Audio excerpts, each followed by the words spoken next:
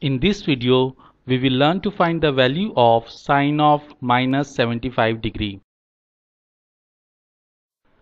As we know, the trigonometry identity sine of minus x is equal to minus sine of x. The video explaining how to derive this identity is appearing in the upper right corner. Also, the URL address of the video has been mentioned in the description section.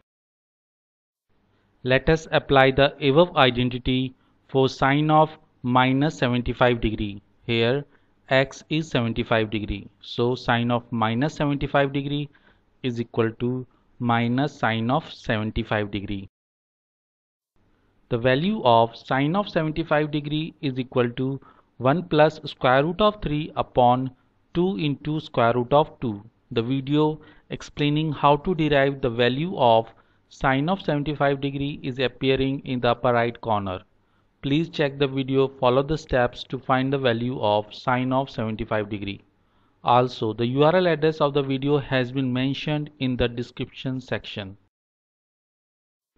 So we get the value of sine of minus 75 is equal to minus of whole expression of 1 plus square root of 3 upon 2 into square root of 2.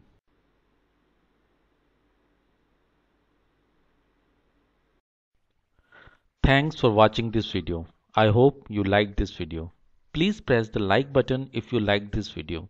To view latest videos, do not forget to press the subscribe button and to click the bell icon for notification of the latest video. You are most welcome to express yourself about this video in the comment section or if you want me to develop a video on any other topic. Thank you